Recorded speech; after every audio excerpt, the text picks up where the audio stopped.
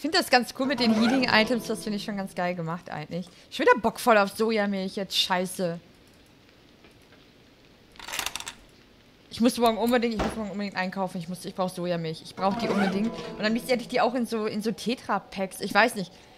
Ich finde, Milch schmeckt irgendwie besser aus Tetra-Packs, genauso wie Cola besser schmeckt aus Dosen. Ich mag eine, eine Cola lieber aus einer Dose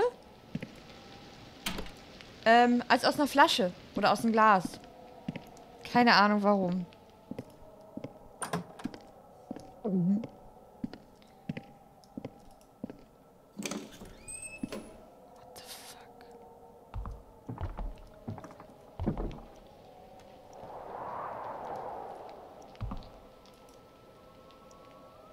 ein Bild des Pentagons in Pentagons äh, in Washington, Washington DC.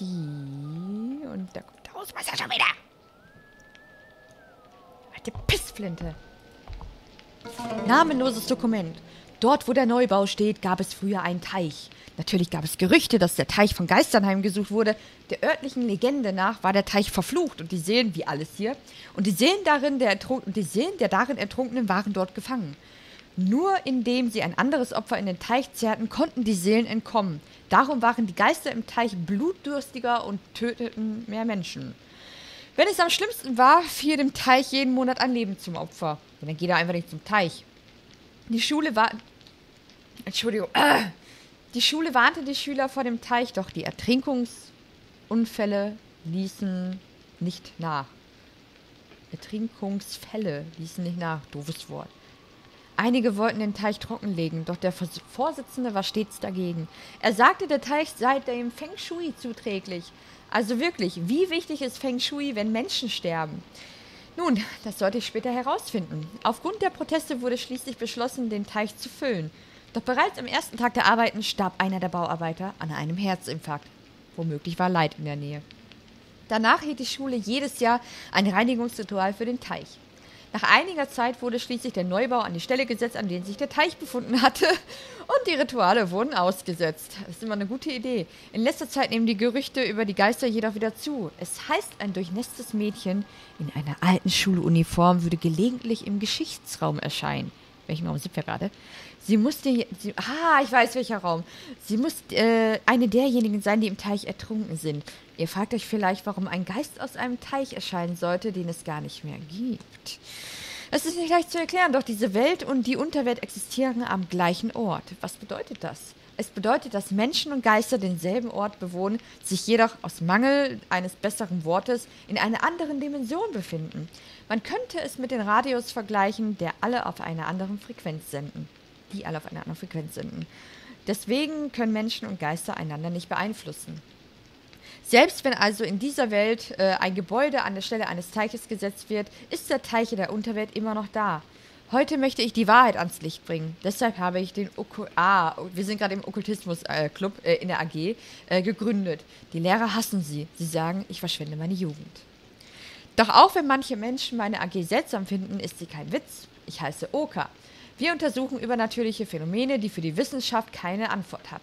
Für die unser oberstes Ziel ist es dabei natürlich, einen Geist aufzuspüren. Doch pu durch pures Glück habe ich eine L-Stange in meinen Besitz gebracht. Diese soll magische Kräfte besitzen.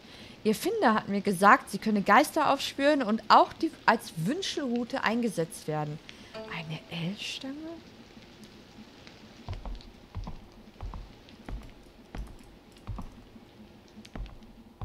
I want to believe. Ah, Untersuchung der Yin-Yang-Marke. Die Yin-Yang-Marke wurde im Daoismus verwendet und besitzt einen bronzenen Spiegel in der Mitte. Sie besitzt die Macht, das Böse zu vertreiben und die Wahrheit zu enthüllen. Die Yin-Yang-Marke ist achteckig und mit acht Trigrammen Jetzt ist die, die wir oben brauchen, äh, versehen. In der Mitte befindet sich ein Spiegel, auf, der, äh, auf dessen Rückseite das Yin-Yang-Symbol. Das Symbol erscheint gelegentlich in der Popkultur. Wird die Marke mit Energie aufgeladen, kann es diese entfesseln, um das Böse zu vertreiben oder zu zerstören. Das von Spiegel reflektierende Licht soll denselben Effekt besitzen. In unserer Schule wird auch eine Yin-Yang-Marke im Geschichtsraum ausgestellt. I want to believe. Oka Ruto. Eine Uhr? Oh, eine Uhr.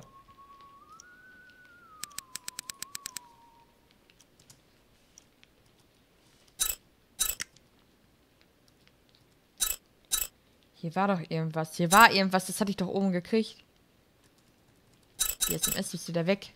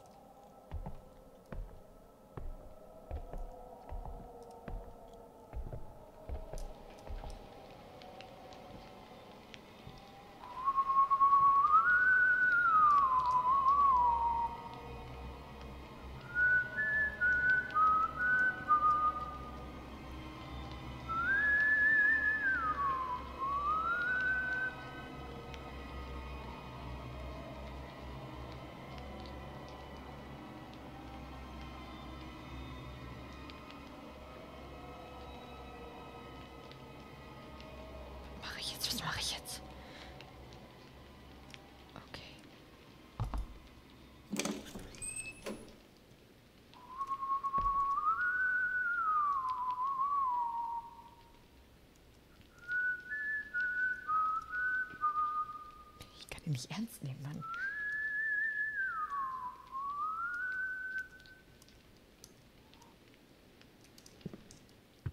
Die ist blaue Scheiße.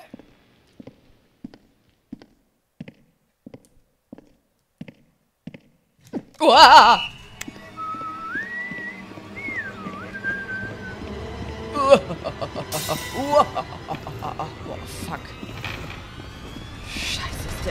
Boah, wie schnell der auch ist, ne? Wie schnell dieser alte Sack ist. Boah, ey. Heilige Scheiße. Ich sollte echt langsam mal speichern. Sicherheitshalber einfach nur. Weil das hier echt böse ist.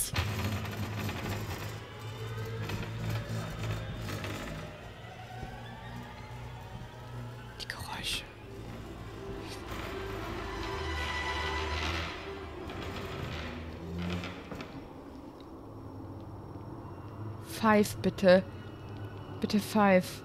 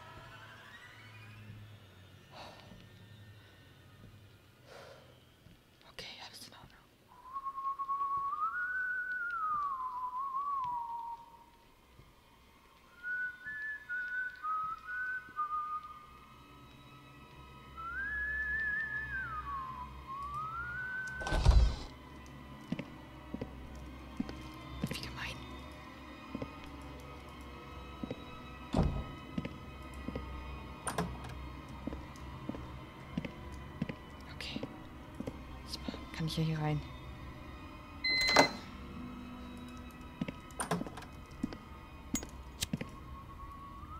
Boah.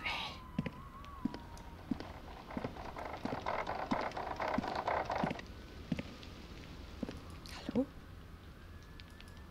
Hallo? Systemtools, was? Windows ME? Was ist hier? Warum kann ich das machen? Warum? Ist irgendwie ein Code oder was? Was ist das? Warum kann ich das machen? Warum? Warum?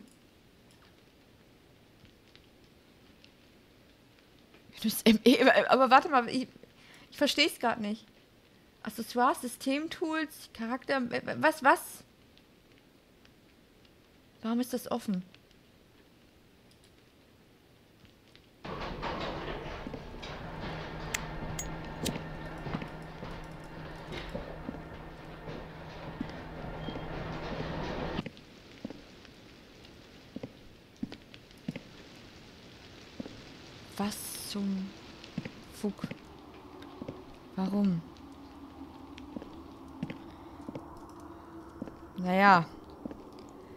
Zeit wird vollkommen, ne?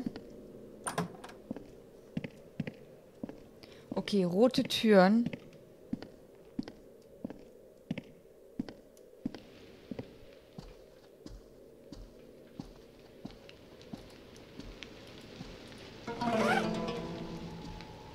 Ich gehe mal eine Etage runter und guck mal, ob da noch irgendwie eine rote Tür ist oder so.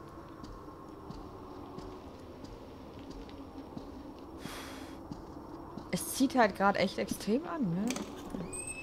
Die Yin-Yang-Marke, die wurde ja ausgeliehen. Das Glas ist wieder da. Seltsamerweise. Ey, hau ab. Hau ab.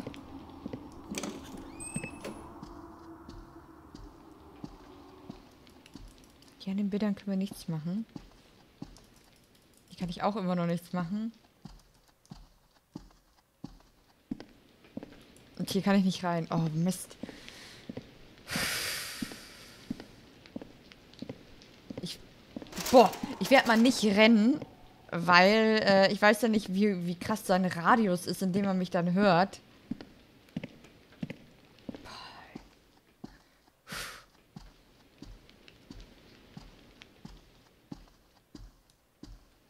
Hallo?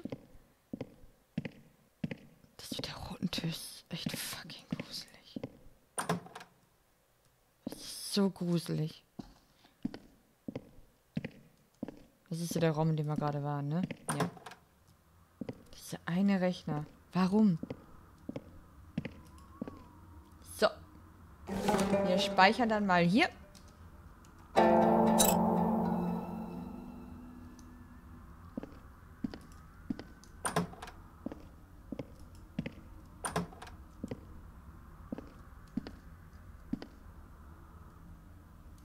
Radius ist okay.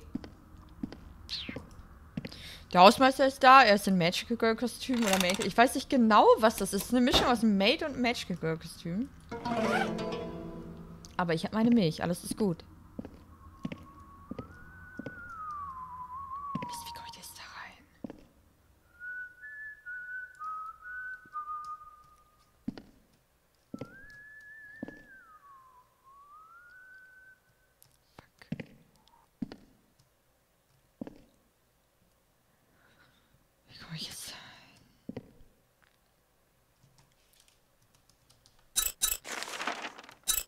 Kann nur in die, in die nächste Etage hier. Also wir haben unten auch noch nicht die Räume gemacht. Äh, ich kann hier nur in die nächste Etage, wenn ich die Treppe rechts nehme. Also jetzt gerade von mir geradeaus. Dann kann ich erst hier hin.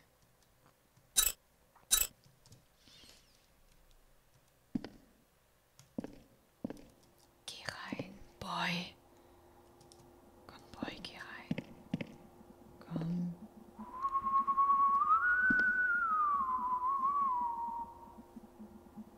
Desto länger wir stehen bleiben, desto mehr Jumpscares können halt kommen. Oder das Vieh könnte halt jetzt gleich wiederkommen.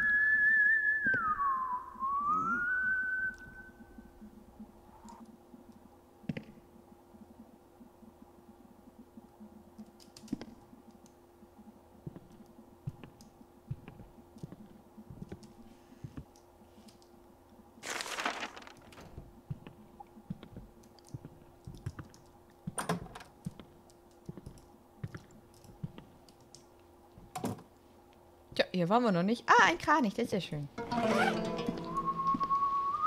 kein machen wir nicht fertig. Jetzt müsst ihr es auch schon machen.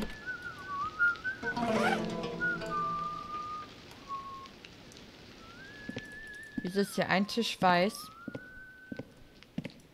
Ein einziger Tisch ist weiß. Warum?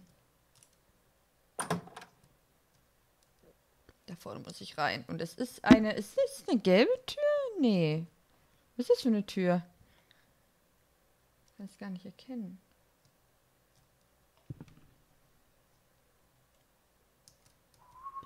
Geh da mal irgendwo rein. Ja, geh da mal irgendwo rein mit deinem Fisch.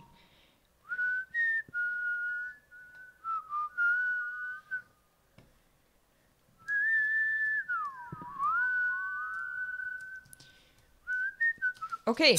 Äh, Notiz. Die Yin-Yang-Marke, die wir offensichtlich brauchen. Äh, Bibliothek 2. Bibliothek 2. Die Pendeluhr steht Kopf. Seine Stimme soll der Schlüssel zum... Hinweis zum Neubau. Die Lampeninstallation, okay. Äh, Im Schaltraum, da müssen wir noch hin. Schaltraum müssen wir noch hin. Ah, okay, ähm. Im Sprachlabor ist der Triebe äh, beschädigte Stromzufuhr.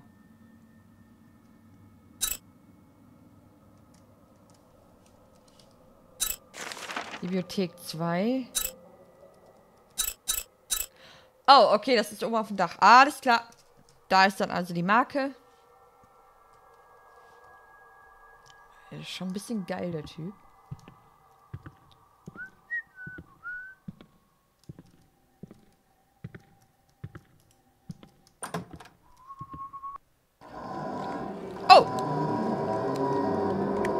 Hi, Baby!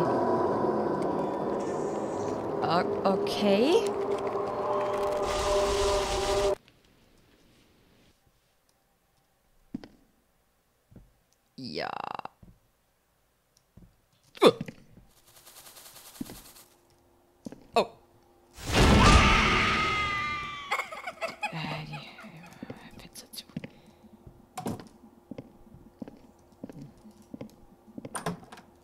Uah!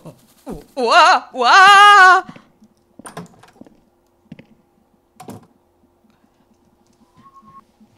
Das hatte ich ganz anders. Also ich, die, die Olle hatte ich, ich hatte immer noch so eine Olle, die, die hang dann auf einmal irgendwo im Original.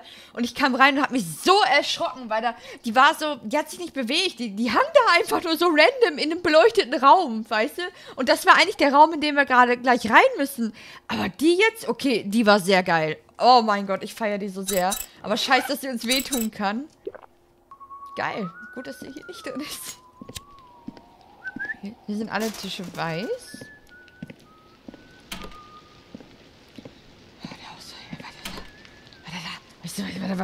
Haben wir das irgendwie markiert? Nein, das ist 3,5. Die ist in 3,5. Ich schreibe mir das mal auf.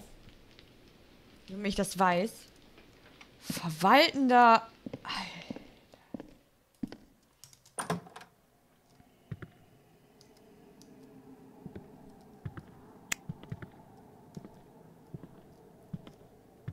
Da oben sind rote Türen.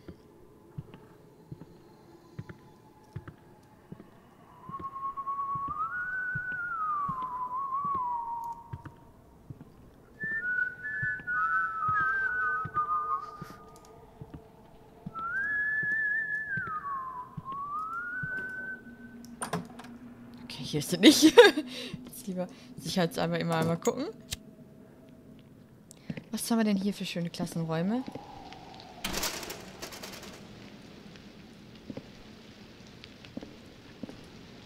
Ein Stift zum Speichern, den nehme ich doch immer gerne.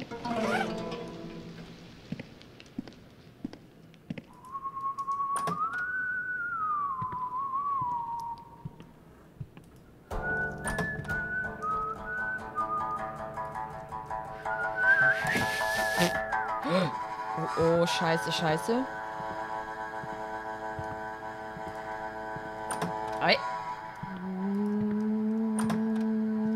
Mir bitte jemand sagen, warum da jetzt so ein Uhu ist? Vielleicht wegen dieser Notiz. Denn es ist ein Dokument für die Kursmaterialien. Orient-Wissenschaften, die Theorie der fünf Elemente. Lehrer, Vizedirektor Sang Moon Lee.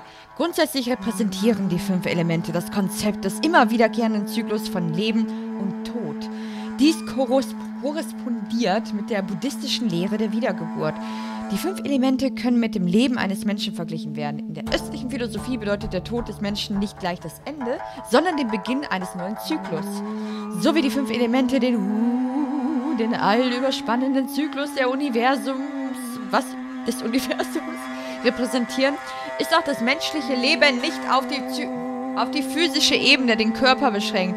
Entsprechend dieser Logik haben einige sogar die absurde Theorie geäußert, Tote können durch die Theorie der fünf Elemente wiederbelebt werden. Das äh, finden wir übrigens nicht umsonst so oft. Ähm, demnach soll die Umkehrung des Kreislaufs der fünf Elemente Lebenskraft gesammelt werden, um, äh, um weitere Wortwörter zu überlesen, um die Wiederbeleben zu ermöglichen.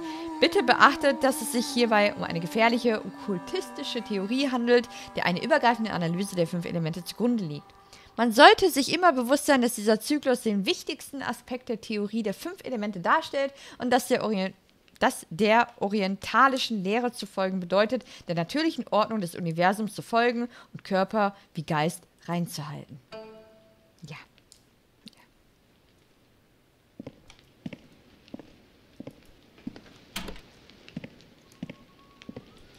Ich stopp den gleich seine Fresse. Ganz im Ernst. Boah, ist der nervig. Da unten ist er. Warte.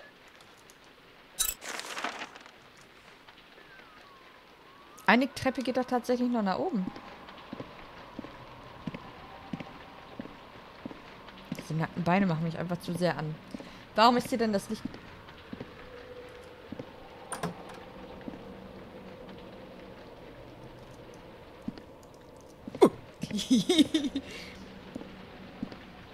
das Licht an. Wow. Das ist cool.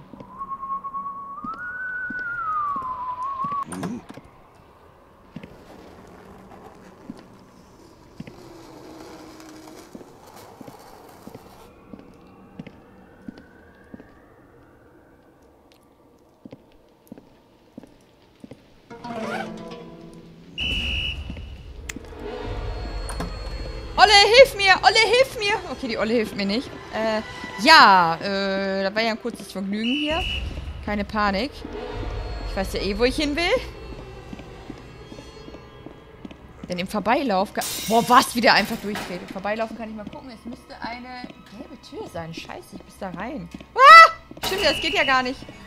Kann ich eigentlich hier rein? Ah! Warum gibt es hier eigentlich keine Toiletten?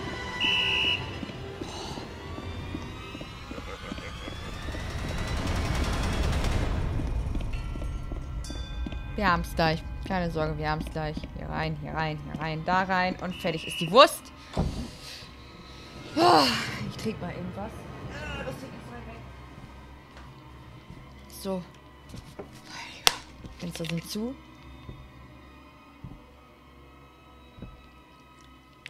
Mm. Ich muss zugeben, ich kann mich nicht daran erinnern, dass er gepfiffen hat in der vorherigen Version. Aber mir gefällt das. Man kann sich halt anhand des Pfeifens gut orientieren. Zum Beispiel jetzt gerade ist er noch auf der linken Seite. Wenn es leiser wird, wird es gleich müsst ihr dran vorbeigehen. Dann wird es leiser und bla. Hoffe ich.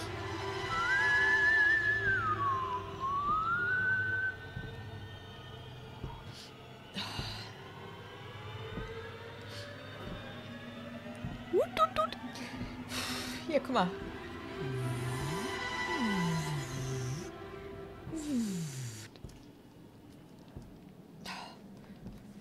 Pfeif bitte wieder. Ich muss wissen, wo du bist. Tür da hier zugemacht.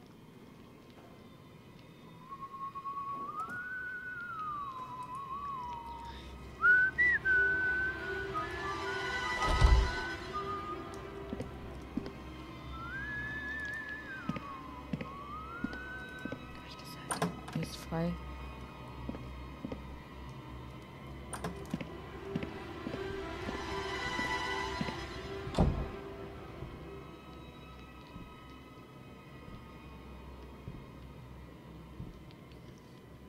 Bisschen zu äh, voreilig.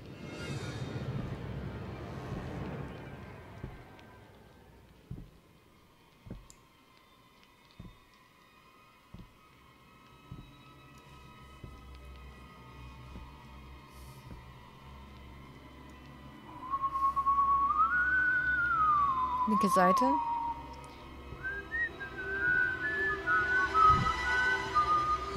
Und die ganze Zeit, ob hier Bonbons sind, ist schon ein bisschen spät, aber irgendwie bin ich eigentlich gerade schon fit genug zum Aufnehmen. Oh, ich habe gerade so Bock auf Bonbons einfach. Einfach um, um irgendwie Zucker gerade zu haben. Ich weiß nicht warum.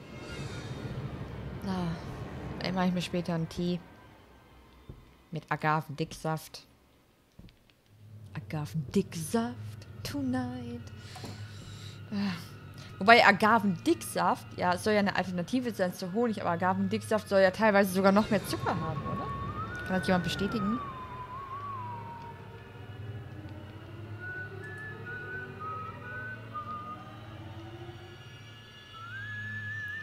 Wieso kriegt er eigentlich nicht die Olle, die hier die ganze Zeit mit rumgeistert? Die Song Yon Yon Yon Yon die? Entschuldigung.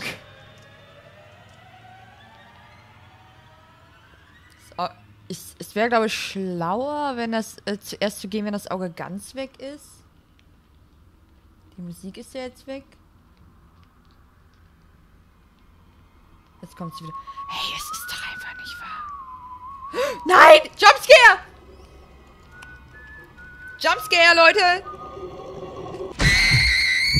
Ein leises Hallo. Wie geht's mir denn? Beruhig dich, Junge, beruhig dich. Alles in Ordnung. Brauchst keine Beruhigungstablette. Was findet ihr eigentlich schli schlimmer, den Hausmeister oder die Jumpscares? Ich finde die Jumpscares jetzt sehr erträglich, weil man wird ja vorgewarnt und man sieht auch diesen fliegenden Kopf. Das fand ich ein bisschen gruselig, als sie uns da hinterhergeflogen ist, aber wir wussten, was passiert, wenn sie uns kriegt. Es war okay. Das mit dem Schrank war echt ekelhaft. Also die Olle war, boah, ich habe mich so verjagt einfach. Mehrfach, obwohl ich wusste, okay, es kann sein, dass sie da drin ist. Und dann ist sie halt die ganze Zeit gar nicht da drin und dann auf einmal boom und dann nochmal boom und oh, es war so furchtbar.